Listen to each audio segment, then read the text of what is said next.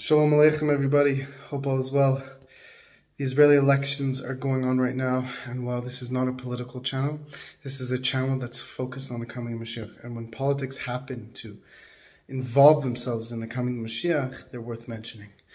And we don't know who has emerged victorious from these elections yet, but one thing is for sure Hashem is getting the world ready for the coming of Mashiach. And for a while now, there's been a left wing government in the land of Israel.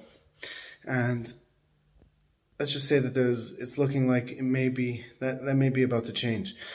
And this will have major implications on the geopolitical situation, on the you know the standard of you know the religious situation because the government so far has in the past little while has not been so let's just say they haven't involved themselves as much as not even close to as much as we'd like in the uh, glorification of Hashem's name in the spreading of Torah and mitzvahs. Let's hope that Hashem, let's pray to Hashem that He brings in a government that will bring the coming of Mashiach.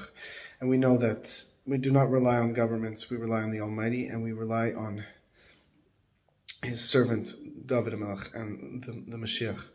So we know that as, as much as this is exciting, and we know that this surely is exciting, and it's involved in the coming of Mashiach because everything around the world is a process of the Mashiach's coming. So Hashem is Hashem, Hashem. There's nothing else besides Hashem, but Hashem sometimes, in order to create the world, Hashem has to enclothe Himself. I mean, He doesn't. Hashem doesn't have to do anything, but chooses to enclothe himself within the world. And therefore, he reveals himself to us through every event that takes place. Everything around us is a manifestation of Hashem, Hashem's light. And Hashem is causing the world to, to, to be to function in a certain way. And so these major events are surely a hashgacha pratis. They're the choice of the divine. We should know that this is very exciting. We pray that Hashem will bring, uh, you know, will bring Mashiach immediately, and this is something to get excited about. And surely, you know, we've seen a, left wing government for a while, and whatever happens, it will have a major effect on the way the world functions, especially the way the Holy Land, the, the you know the government uh, of the people here in the Holy Land, the way they function. But of course, we know that Hashem is the Almighty. Hashem is the one we're voting for, and so are the the righteous ones. And the the government is just is something that manif- is, is is Hashem's choice, and it's it will have an effect on the way the world functions. And we know that this is this is something to get excited about because we know that there's tension, there could be tension, there could be there could be events, major events that take place that accelerate this process of the coming of Mashiach. So we will see what happens, my friends, and let's get excited because whatever happens is the choice of the Almighty.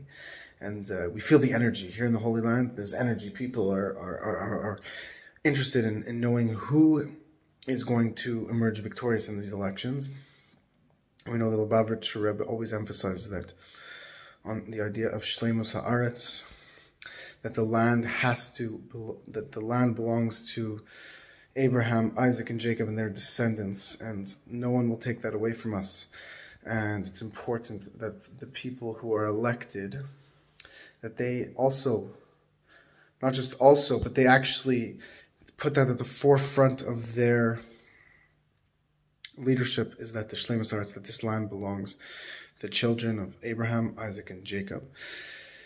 And nothing will, will take that away from us. And, and adding to that, that this land, the people here, that we have to follow Hashem's will.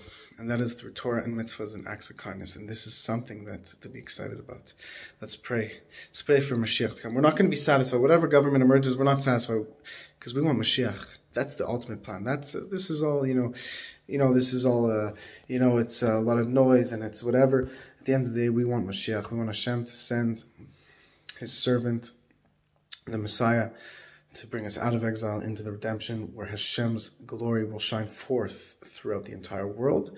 And the entire world, Jewish and righteous Gentile, will all experience the divine. May Hashem bless you all. May we experience this today. Please like, comment, share, subscribe. Let's get this message going. Be well.